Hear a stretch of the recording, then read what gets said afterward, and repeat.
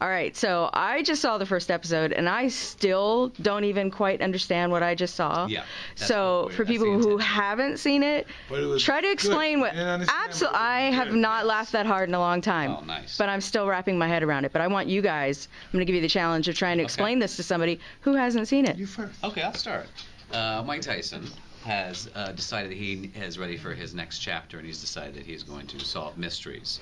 And with the help of his adoptive daughter, Yung Hee, and a, and Mike in real life does have pigeons. So this is a pigeon who uh, we'll find out later, but it's basically cursed into this world. It's a man. And then there's the uh, oh, he calls him Marcus or the uh, Marquis of Queensberry, who was actually a guy who officially cemented the rules of boxing. Yeah, way and so he has yeah. come into Mike's life to help him uh, with this supposed next career choice. And something else that people don't know, you know, the Marquis of Queensberry had a son who was the lover of Oscar Wilde, a great poet writer in like in the 18th century, 19th century, and of course he was um he implemented in helping Oliver Oscar Wilde go to prison. And sometime during this whole little um episode, we have to get an episode where he He deals with that. deals with that, and he has to apologize to Oscar and make sure that he um, same-sex marriages are cool now, and you know it's no longer a bad thing. Mhm. That's great.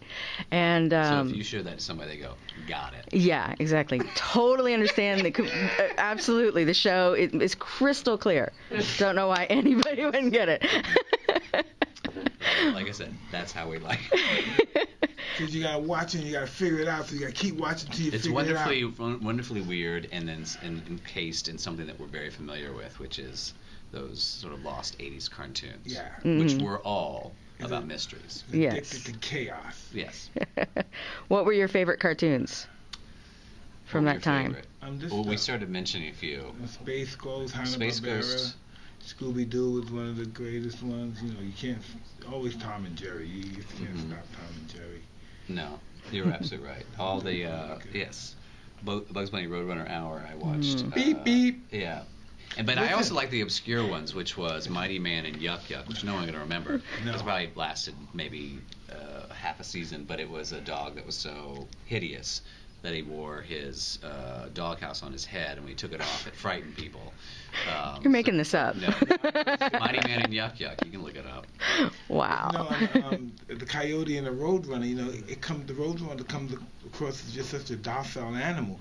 Um, roadrunner, roadrunner, they're carnivorous. You know, they eat Well, other birds. Yeah, they Oh. do. The little nasty dog. And they always made us look at him eat Yeah. bird seed. Come Exactly. on, let's Mm. get some reality in here and see him eat some meat. right. okay, so what has been a scene that you guys can think of where I, I can imagine they're all Go to the quite funny. I go to the moon. You go- and I'm a serial killer for cr- uh, astronauts. Astronaut serial killer. Yeah. hmm See, it's easy to explain. Okay. people go, Got it. Is there been a scene where you guys were cracking up when you were trying to record it? Because I'm cracking up just hearing about this stuff. Because Can't I- imagine um, recording this. Yes, it is because you know he plays the Marquis of Queensberry, which he controls the English language like a servant, and I, I pretty much um, butchered the English language in certain episodes, and so you But- can see the.